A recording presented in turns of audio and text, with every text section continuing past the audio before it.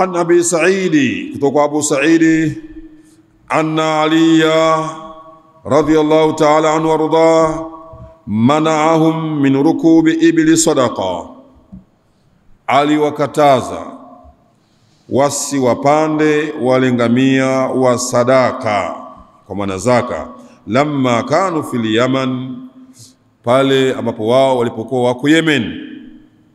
Wa amara alaihim rajulan Sayyidina Ali akawateulia wao kiongozi akamfanya mtu mmoja kuwa ni kiongozi wao. Wa amara alaihim rajula akawateulia wao mtu mmoja kuwa kiongozi. Wa kharaja ila nabii sallallahu alaihi wasallam fi makka yeye akatoka na akaelekea kwa mtume Muhammad sallama huko maka thumma lamma adraku adrak lamma adrakuhu fi tariqi. Sasa wakati walipomuaya kukutana naye katika njia idha alladhi amarahu tahamaki yule ambaye amempa uongozi kusimamia kadi adhna lahum bilrukubi akawapa ruhusa wao wapande ngamia, hu, ngamia hao. Yeye ali alizuia lakini yule mtu ambaye kapewa jukumu na dhamana asimamie yeye ghafla moja akawaruhusu wapande ngamia hao.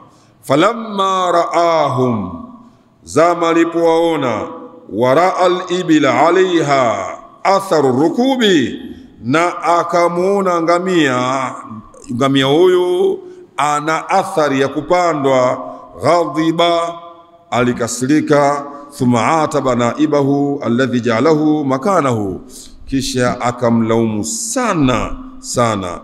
Nani yule naibu wake ambaye ndiye aliyemweka yeye ile nafasi yake baada ya kuondoka? Akamlaumu sana. Qala abu said akasema abu saidi falamma laqina rasulullahi sallallahu alaihi wasallama tulipo sisi kutana na mtume muhammadin sallallahu الله عليه وآله وسلم dhakarna ma laqinahu min ali. Tukamweleza mjumbe wa allah yale ambayo sisi tumekumbana nayo tukiwa na Saidina ali radhiallahu ta'ala anhu. Min alghilda wa tadhyiqi namna ya ile hali ya ule ukali ambao aliokuwa nao Saidina Ali na dhiki tuliopata, alghilda, ule ukali na ile dhiki tuliyoipata tulipokuwa na yeye, aina fulani ya ugumu tulikumbana nao. Na dhiki. Ghildha ni namna mtu anapoondosha uso wa furaha kwako na kuwa mkali. Ghildha watadhiq na dhiki. Wa fi riwayatin annaha kanat hulalan aradu an yalbasuha. Famanahum ali radhiyallahu ta'ala anhu min min lubsiya. Na katika riwaya nyingine ya kwamba yeye alikuwa ana hulala pambo fulani. Aradu an yalbasuha akataka kuli aradu akataka wao an yalbasuha kulivaa pambo hilo. Famanahum aliyu radhiallahu ta'ala anhu akawazuia. Ndio miongoni mwa tadhiki hizo wameidhikishwa min lubsia kuvaa faqala rasulullahi sallallahu alayhi wa alihi wasallama mjumbe wa Allah akasema mah ya Saad bin Malik wa huwa Abu Said. Mah acha. Acha ewe Saad bin Malik wa huwa Abu Said. Yani uskut baadhi kaulika li akhika Ali acha baadhi ya maneno yako kwa ndugu yako Ali. Fa wallahi naapa kwa Allah tabaraka wa taala laqad alimtu annahu ahsana fi sabilillahi. Mimi nimetambua natambua ya kwamba yeye ahsana fi sabilillahi. Hakika amefanya vizuri sana katika njia ya Allah tabaraka wa taala. Ma acha zuia baadhi ya kauli zako kwa ndugu yako Ali. Fa wallahi mina hapa kwa Allah, laqad alimtu anahu ahsana fi sabilillahi, kafanya vizuri sana huyu katika njia ya Allah tabaraka wa taala. Katika maneno haya qala Ibn Kathir, anasema Ibn Kathir isnadu jayyid, mategemezi ya maneno haya ambayo tumeyazungumza hapa punde ni mategemezi mazuri, sanadi yake ni nzuri, ala sharti Nasai, kwa sharti ya Imamu Nasai, akhrajahu al-Imam Bayhaqi wa ghayruhu, pia riwaya hiyo Imamu al-Bayhaqi na wengineo wameitoa wameizungumza riwaya hiyo wanayo. Waqala Ibn Kathir, amenukuu shekhe tena kwa Ibn Kathir. Anasema inna aliya radhiyallahu ta'ala anhu, ya kwamba Ali Allah mwiradhi,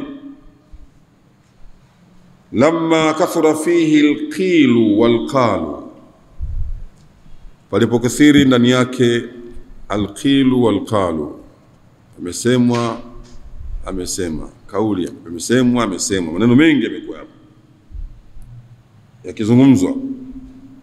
Min dhalika aljeish kwa jeshi hilo bisababi man'ihi iyahum istimala ibili sadaqa, kwa sababu ya yeye Ali kuwazuia wao kutumia ngamia wa sadaka, wastirjaihi minhum lhulala, na kutaka kureisha kwao zile mapambo alati ambayo atlaka lahum naibuhu, aliwaachia wao naibu wake, lidhalika katika hilo.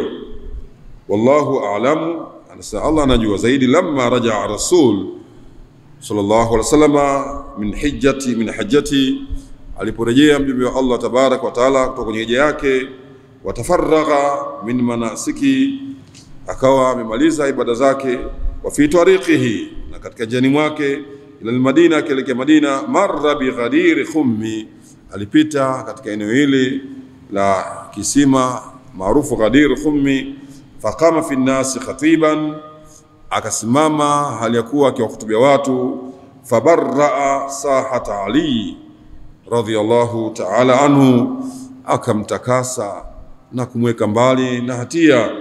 Saidna Ali katika mamlaka yake, warafaa qadrahu, akainua zaidi hadhi yake na cheo chake, Wanabaha ala fadlihi, akatanabaisha sana juu ya fadhila zake Saidna Ali, liuzila, ili apate kuondosha ma waqara fi qulubi kathiri minan nasi, kile ambacho kimeingia na kujikita katika nyoyo za wengi miongoni mwa watu. Hadithi hiyo, maneno hayo ameyachukua kwenye kitabu cha Ibn Kathiri Albidaya wa Nihaya, juzu ya tano ukurasa wa 95.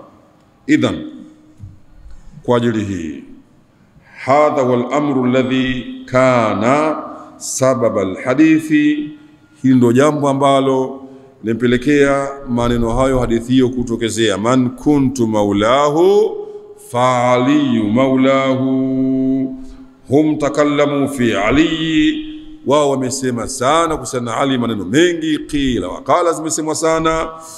Kiasi ambacho zikatengeneza chuki fulani kwake yeye. Kwa hivyo Mtume salama ndo maneno yake akasema, walidhalika, kwa ajili hiyo annabiyu sallallahu alaihi wa alihi wasallama akhara alkalama ila an raja ila almadina, aliakhirisha maneno mpaka kufika Madina. Walam yatakallam, hakuzungumza Wa fi Makka fi ayami mina au fi yaumi Arafa, wa innama ajjala alamra ila an raja, jambo aliliachia mpaka hapo atakaporejea.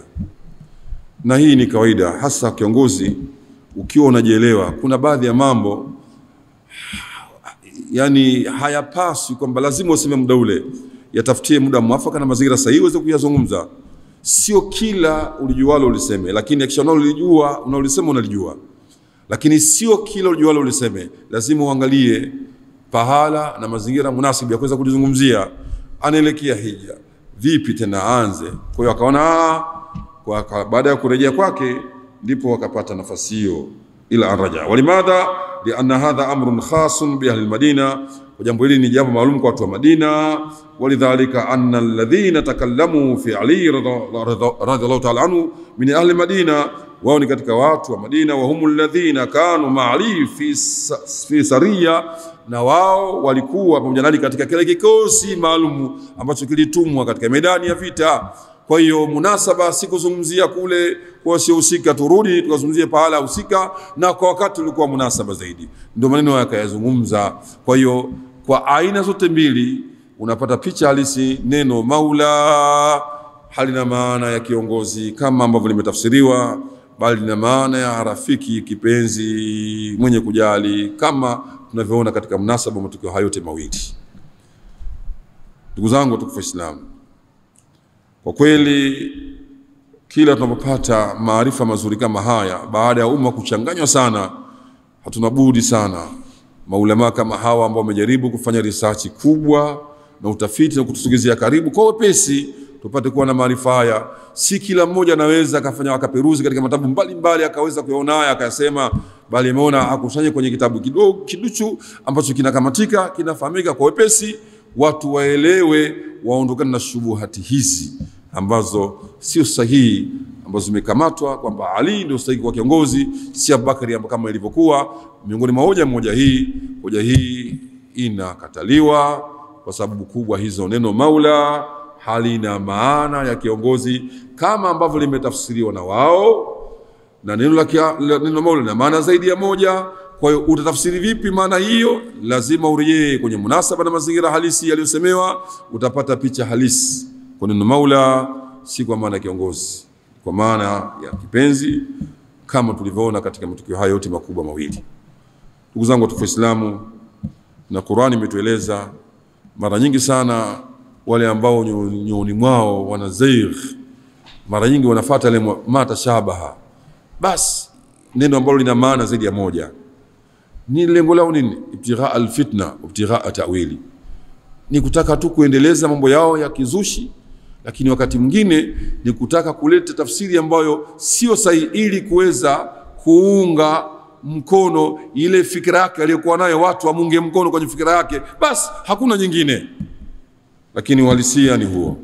Tumwombe Allah tabaraka wa taala atujulishe haki ni ipi na tupe taufiki ya kuweza kuifuata haki hiyo, atujulishe kwa batili ni ipi na tupe taufiki kuweza kuepuka batili hiyo. aqulu qawli hadha astaghfirullah li wa lakum subhanaka allahumma bihamdika nashhadu an la ilaha illa anta nastaghfiruka wa natubu ilayka wa sallallahu wa baraka ala muhammadin wa ala alihi wa sahbihi wa sallam wa jazakumullahu khair